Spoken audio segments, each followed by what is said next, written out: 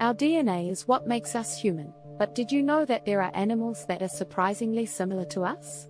Today, we're going to talk about the top 5 animals closest to human DNA. Number 1 on our list is the chimpanzee. These primates are our closest living relatives, sharing 98.7% of their DNA with humans. They are found in the forests of Central and Western Africa and are known for their intelligence and social behavior. Number 2 on our list is the bonobo. These primates are closely related to chimpanzees and share 98.7% of their DNA with humans. They are found in the Democratic Republic of Congo and are known for their peaceful and cooperative behavior. Number 3 on our list is the gorilla.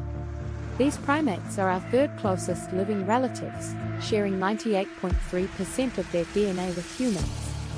They are found in the forests of Central and Western Africa and are known for their strength and intelligence. Number 4 on our list is the orangutan. These primates are our fourth closest living relatives, sharing 97% of their DNA with humans.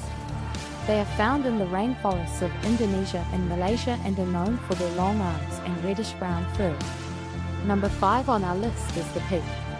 These animals might come as a surprise, but they share a remarkable 98% of their DNA with humans. They are found all over the world and are known for their intelligence and social behavior. So there you have it, the top 5 animals closest to human DNA.